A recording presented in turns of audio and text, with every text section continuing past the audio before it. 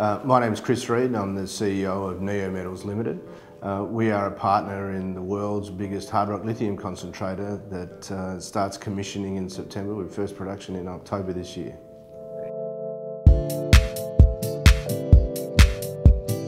So Neometals is a, a project developer. Uh, we develop our captive resources of lithium and titanium uh, in partnership with strong partners.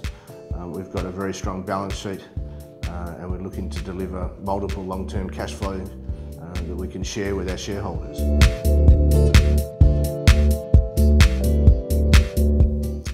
Over the next year we want the successful ramp up of the Mount Marion lithium project.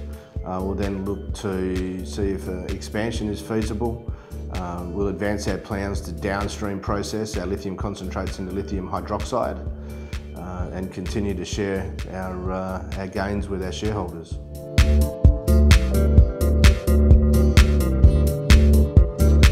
Uh, well, we're paying uh, another two cent dividend uh, on Friday uh, and cash flows from the Mount Marion project uh, scheduled to start in the December quarter of this year.